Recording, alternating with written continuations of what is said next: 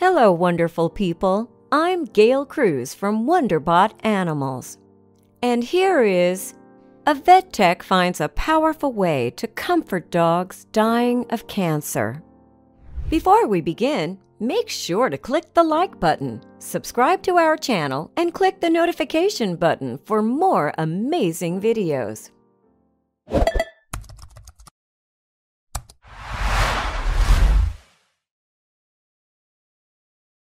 Sometimes the best medicine is love and understanding.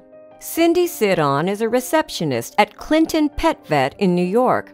The devoted animal lover runs a dog adoption program on the side, so she knows a thing or two about how heartbreaking it can be to give your heart to a struggling pet. A few years ago, Cindy added Riz, a pit bull mix, to her pack. Sadly, she soon learned that Riz had bone cancer that had already spread. The poor pup had to have an amputation and chemotherapy.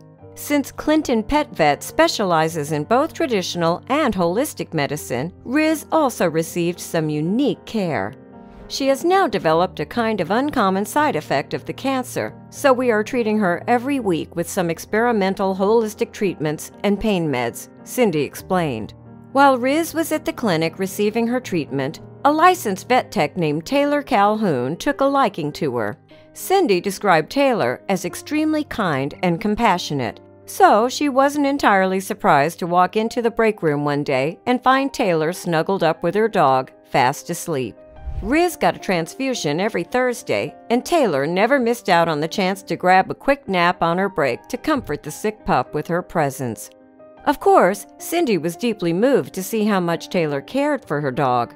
You can't teach this in college, and you either have this compassion or you don't. And this girl gets it, Cindy said. It's just heartwarming.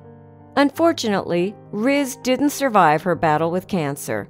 Taylor was right there by Cindy's side when she made the difficult decision to put Riz down and free her from her pain. Even though this sweet dog crossed the Rainbow Bridge, it's comforting to know her last days were filled with love and tender compassion.